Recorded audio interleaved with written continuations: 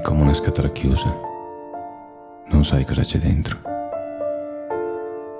Non vedi le corde, non le puoi toccare. Non hai un contatto diretto. Non è un oggetto che puoi portare con te. Il pianoforte rimane lì, in attesa. E tu puoi anche cercare di ignorare il suo sguardo. E a volte ti riesce anche bene.